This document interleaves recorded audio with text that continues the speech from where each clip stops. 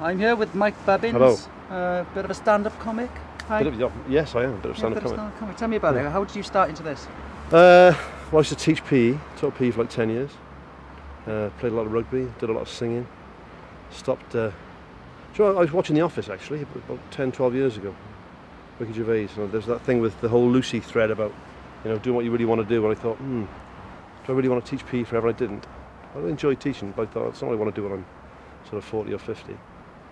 So I started writing some scripts and sent some scripts off, and then uh, went to a script workshop in Cardiff, which when I got there was the wrong day, and they were doing a stand-up comedy workshop.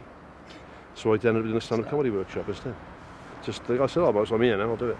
Do some stand-up. And the girl teaching it uh, was really, really bad, which was good, really, because I thought, well, if she'd have been like dynamite, I would have thought, that's, I can't do that. She was so poor, I thought, this is quite easy, compared. I can do that. I can be that bad easily. and uh, I am that bad now, so it's, it's worked out quite well. So you've taken years of practice just being really bad then. Yeah, yeah. So I've, I've gone from sort of very bad to, to, to quite bad. Um, obviously, long-term game. You're looking to sort of get to average. That's what I want to do. If you go into a room and you make the room as funny as it was when you got in there, right? Don't make it worse.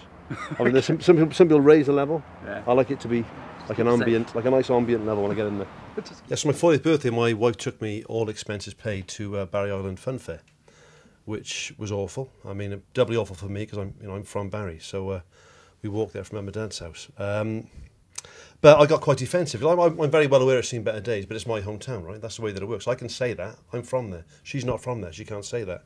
Didn't understand the rules, right? So we get there. What's that supposed to be? A log flume? Well, it says log flume, Kelly, doesn't it? Log flume. Why is it bright yellow? It's Welsh. It's Welsh limestone, isn't it? That's why. Get your log. Where's my log? There's your log. It's bright yellow. It's Welsh pine. Get in the log. Get in the log. I've just done my hair. It's going to get wrecked. There's no water. Relax. It's a rubbish log flume. It's not rubbish log flume. I said, right, you've annoyed me. You've annoyed me now.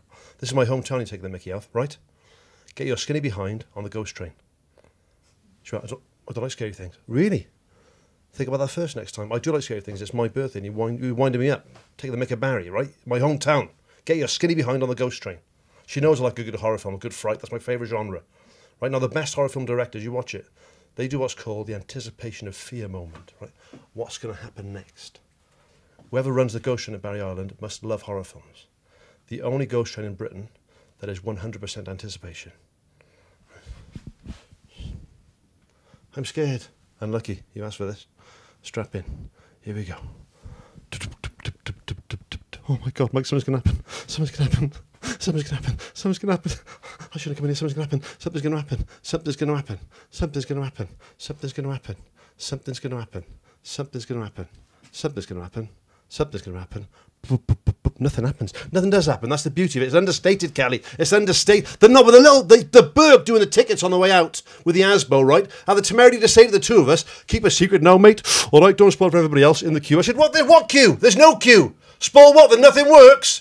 Then nothing works. It's embarrassing. Bad enough on the bloody Dodgems. There was no one to dodge. All right, ghost train. Just call it train ride in the dark.